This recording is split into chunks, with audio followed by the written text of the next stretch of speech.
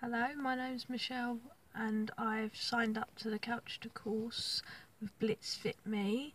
Um, I'm 32 years old. I have rheumatoid arthritis and fibromyalgia. Never thought I'd be able to do anything with my life, but now I've just signed up to this course. I'm feeling so much better. Still getting a bit tired, but not as much as what I was. Um, I'm losing weight. I'm eating healthier.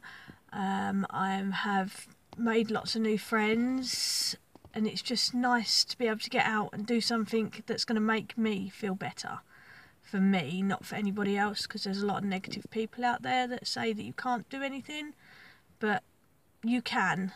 And I've lost four pounds in two weeks, so give it another two weeks and I'll weigh myself again, and then we'll see what happens. I've lost an inch all over which is really good going.